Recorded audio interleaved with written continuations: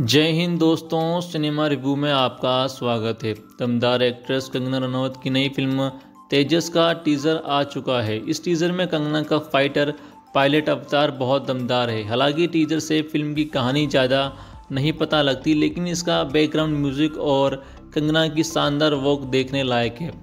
Teaser के साथ film की रिलीज़ डेट को भी अनाउंस कर दिया गया है, जो कि 27 अक्टूबर है। इससे पहले फ़िल्म को 20 अक्टूबर को रिलीज़ किया जा रहा था, लेकिन इस दिन टाइगर श्रॉफ की फ़िल्म गणपत रिलीज़ हो रही है, लेकिन एक हफ़्ता टलने के बाद तेजस के सामने दूसरी कोई बड़ी फ़िल्म नहीं होगी।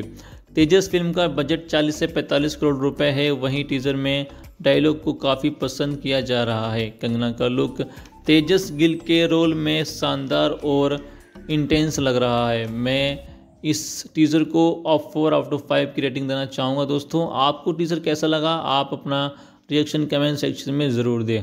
वीडियो को लाइक और चैनल को सब्सक्राइब ज़रूर कर लें। मिलते हैं अब एक नेक्स्ट अपडेट में। जय हिंद।